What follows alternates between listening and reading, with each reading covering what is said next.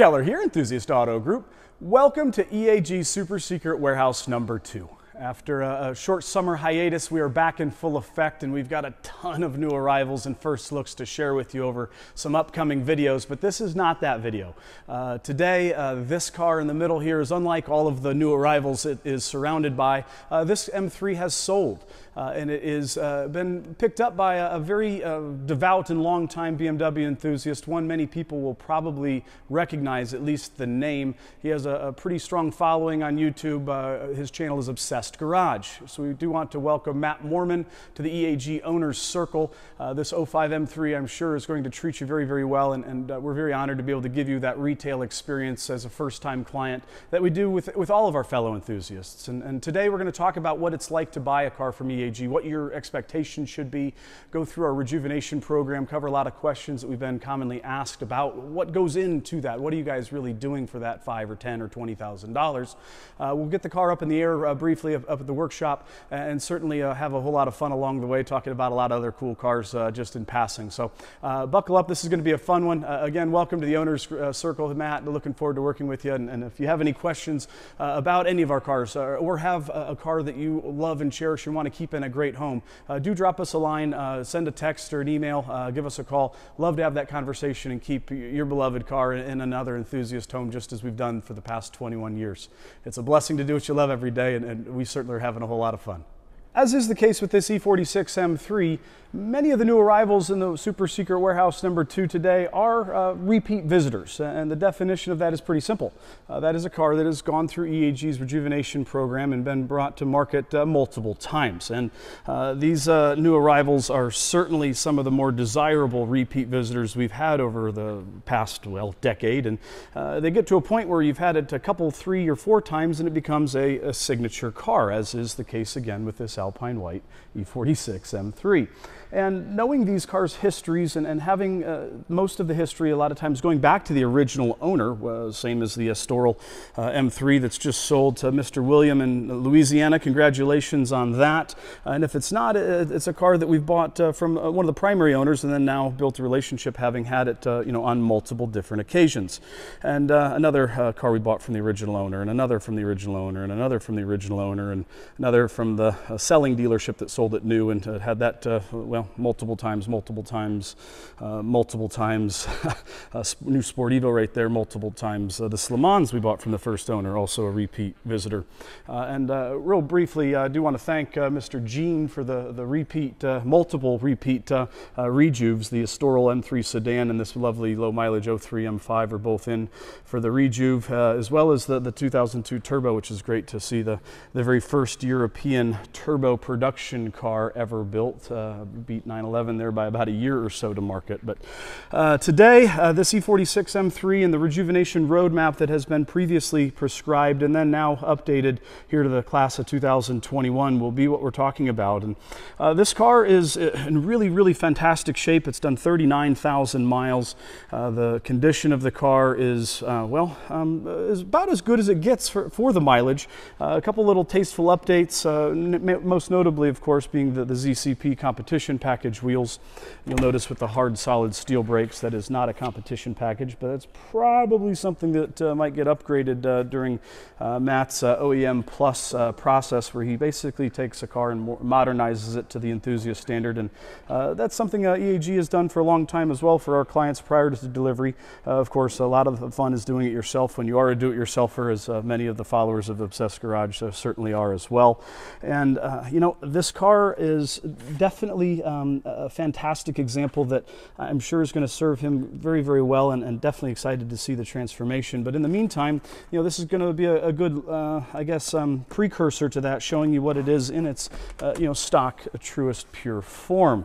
Uh, the S54, of course, being you know, the last six-cylinder naturally aspirated uh, in an M car, uh, especially one with a dipstick, uh, you know, is a legendary motor by every respect. And, and you know, when you open it up with a little bit of an intake system and an exhaust system, they certainly do come uh, uh alive. And uh, again, I'm sure we're going to see that uh, in Matt's upcoming videos as well. but you know, having the right base and having the right car to, to invest all that time and effort and energy, and, and again, money. It, it, does cost more money to, to keep going in the hobby and add that type of stuff. You, you, know, you really got to start with the right car. And you know, this car has had a great service history. We, we have the majority of it here, of course, on file. And uh, trying not to put flash uh, any uh, personal info here, we can kind of go back to the timeline here when EAG first uh, acquired the car back in 14, 28,000 miles. Uh, did a, a, you know big service on it, uh, trailing arm bushings, some of the vanity stuff. Uh, inspection two with a valve adjustment, of course. And I believe we sold it to a client, I want to say in North Carolina. Um, and then uh, the next owner, yep, that's right. Uh, there's the, the next service order. And we can see um, you know, how much uh, this uh, enthusiast spent uh, during his uh, ownership uh, over the next two years, which was pretty darn minimal. Uh, here now, EAG buys the car back again, about an oil change worth of mileage later. of course, then goes through the program again. Didn't have to do quite as much to it, knowing that we'd already set the previous owners up for success. And then the next owner is in California and owned the car for the next six years. again, not a whole lot of money had to be invested during his ownership, uh, some of the which uh, is warranty work probably for the airbags. Um, uh, and um, well, uh, setting these guys up to have a low cost of ownership and then being able to see all of these records uh, post uh, uh, their ownership. Uh, and I think that's where we, yep, got a new windshield. And oof, you should go to some independents. Um, that can definitely be a little more cost effective. You can still get the genuine glass. That, that's definitely a retail bill there. But um, all the same, at least they put the right glass in. And of course, the DCS report and build sheet. new set of floor mats as a bit of a gift uh, to go along with the car.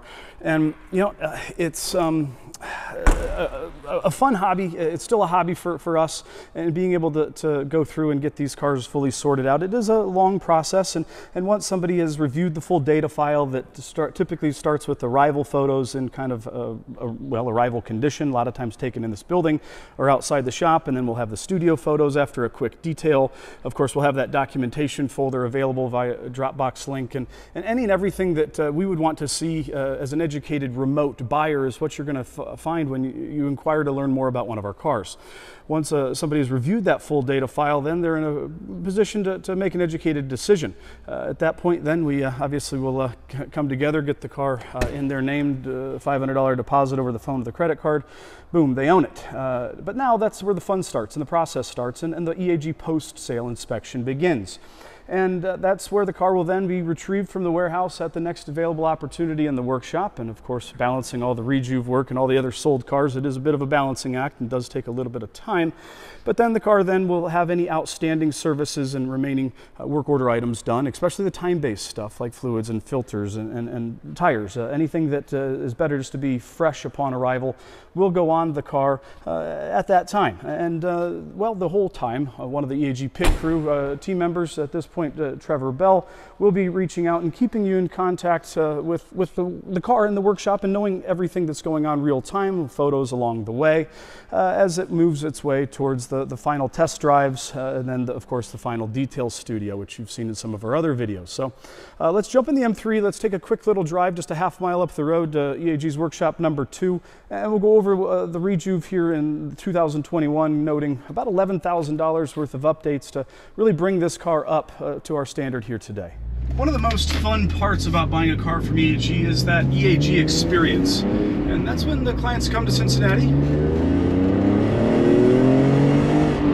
We do some fun uh, test drives and uh, we'll go through the, the, EAG facilities. We have five uh, buildings here in the general area with the sixth being the super secret warehouse number one uh, that is a little bit further away. And when the clients visit for the first time, even after watching quite a few of the videos, uh, they always seem to be a bit uh, impressed and surprised with the, the overall scope and, and size of, of, of our, uh, I guess, enterprise, we'll call it at this point.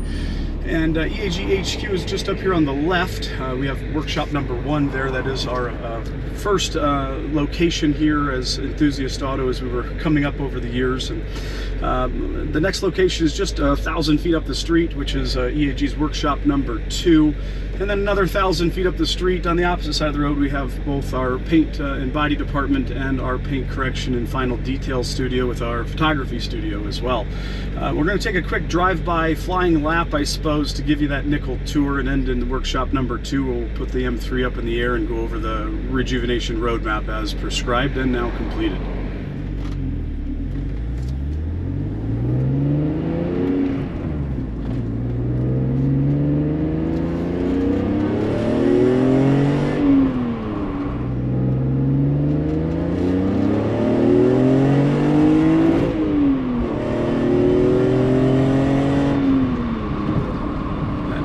aspirated six cylinder just sounds so, so good. Uh, we passed uh, number two up there on the left a bit. We're going to circle back and end up there, but just wanted to give you a quick uh, flying lap here of the body shop and paint studio up here on our right. And there we have about 8,000 square feet or so.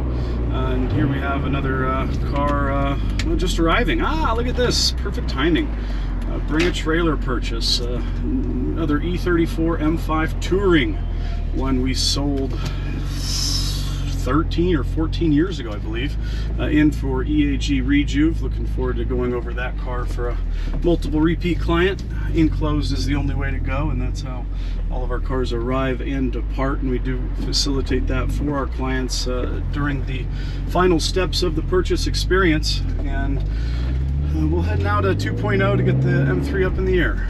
Here we are at EAG's workshop number two.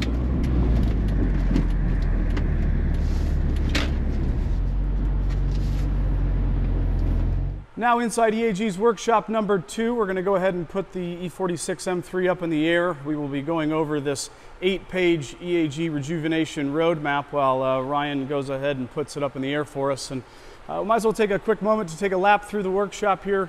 Uh, we've got another uh, repeat visitor, E30 M3, a 1991 final model year. Uh, similar to the two final model year Lime Rock Park Edition M3s. Uh, congratulations to Mr. Matson in Hawaii. Looking forward to your arrival here soon to EAG. We're going to have this uh, built-in radar system and uh, all kinds of other uh, requested updates installed for you prior to your uh, cross-country drive with your son. That's going to be a heck of a, a memorable road trip, I'm sure. Uh, and then we've got another uh, first look opportunity on another six-speed Lime Rock, just 9,000 miles on this one. It's got some pretty cool GTS stuff on it. Uh, more on that later. Uh, another first look on an S54 repeat visitor, uh, 2002 model uh, M Coupe. and thank you to Mr. Justin out in the Monterey Bay area. your E39 M5 Rejuve is coming along nicely and certainly looking forward to the EAG party during Monterey Car Week.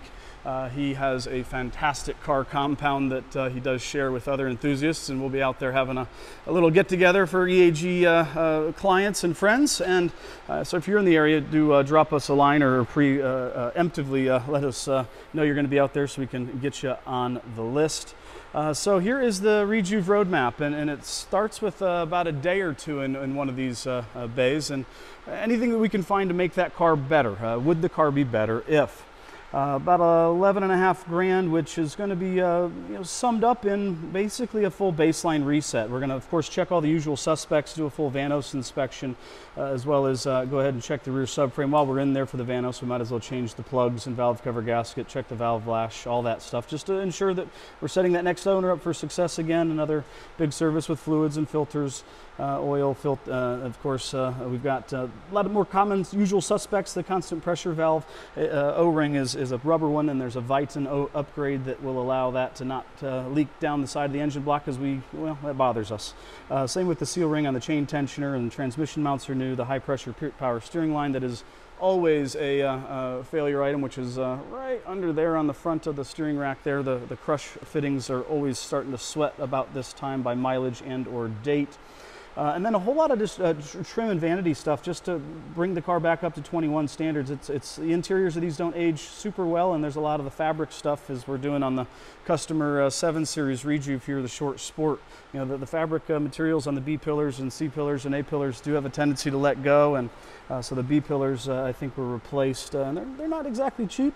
A new shift knob, new center console, cup holder, all the, the bits and bobs which uh, you know, this parts list of uh, stuff, those are not cheap items. Um, but, you know, we want to go ahead and take the car back to that next level and wipe the 15, 16 years of, of uh, pre-owned off of it, and that's what uh, it takes when you're going to do it to that standard. Of course, the front and rear bumpers uh, have been refinished. Uh, the EAG paint correction and uh, uh, body department, of course, does fantastic work getting those to, to match, as well as the color matched reflectors you saw there. Uh, and then uh, during the final post-sale inspection, once all the, the stuff has been prescribed, we'll come back through and do our rounds of final checks, do any customer requested upgrades. And uh, if there's anything that we can find during that time, we're simply going to uh, go ahead and spend the money. And, and the, all of this stuff is included in the price of buying a car from EAG. And you know, it's a bit of overkill, but uh, I'd rather find that last minute uh, fault with a, an oil sensor before the car goes on the truck and, and make sure that everything is well set up for success. Uh, the undercarriage of this car is in really great original shape. It has not been you know, uh, cleaned or detailed or, or uh, dry ice blasted, which is becoming uh, quite a popular uh, item.